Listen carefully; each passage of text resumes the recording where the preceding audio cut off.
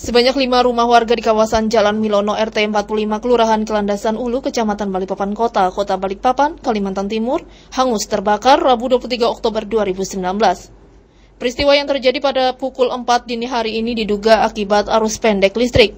Namun untuk memastikan kebakaran, petugas kepolisian dari Polres Balikpapan sedang melakukan pemeriksaan sejumlah warga serta melakukan olah tempat kejadian perkara atau olah TKP. Tidak ada korban jiwa dalam peristiwa ini akibat kebakaran yang terjadi di kawasan pemukiman padat penduduk ini menyebabkan kerugian warga mencapai miliaran rupiah. Dari keterangan warga, api pertama kali terlihat di salah satu rumah warga yang ditinggal kosong oleh penghuni. Kobaran api semakin membesar saat angin kencang berhembus membakar bangunan rumah warga hingga merembet ke rumah-rumah yang ada di sebelahnya.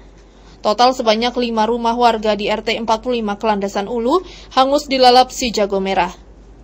Kepala Badan Penanggulangan Bencana Daerah atau BPBD Balikpapan Suseno mengatakan, informasi yang diterima sebanyak empat rumah warga, namun dari hasil pendataan diketahui jika rumah warga yang terbakar sebanyak lima rumah.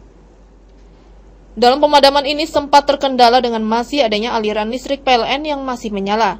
Namun setelah dilakukan koordinasi dan aliran listrik dipadamkan, maka pemadaman dilanjutkan kembali. Meski sebelumnya sempat terjadi peristiwa petugas pemadam tersengat aliran listrik tersebut. Di Gunung Pasir ini infonya empat rumah tapi nanti dipastikan dicek ulang kalau misalnya eh, pendinginan sudah selesai.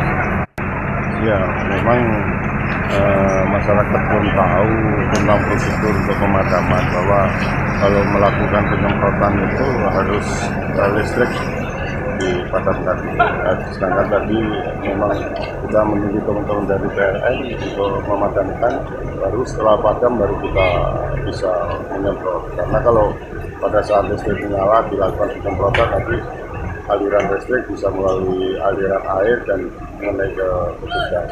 Tadi sempat ada teman kami yang nekat untuk memprot dan terkena setrum lah. Tapi alhamdulillah kondisinya masih sampai sekarang masih baik. Di batu ampat tadi 8, 8 unit. Kemudian yang di Gunung Pasir ini Sebelumnya kebakaran juga terjadi di kawasan Perumnas sekitar pukul 2 dini hari yang menghanguskan satu unit rumah warga.